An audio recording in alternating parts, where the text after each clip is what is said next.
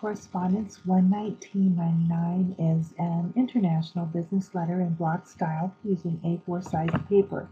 You will find the content on page 483 and the situation information is reproduced here in the instruction document posted in Blackboard. First of all, you will want to set your paper size to A4. Remember to go to the page layout tab, size, and select A4.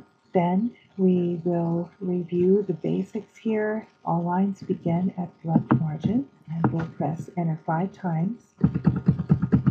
To begin the date, two inches from the top of the page. Use the current year and press enter four times. Type the inside address, single spaced at the left margin. Correct international format for Canada. Now remember that you need two spaces after the province abbreviation. Press enter two times for the salutation.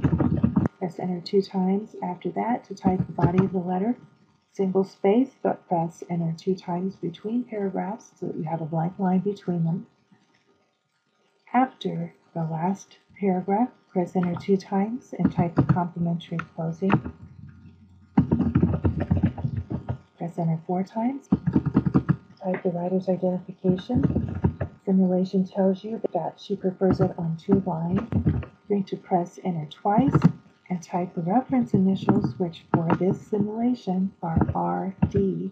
Press enter two times and type the postscript.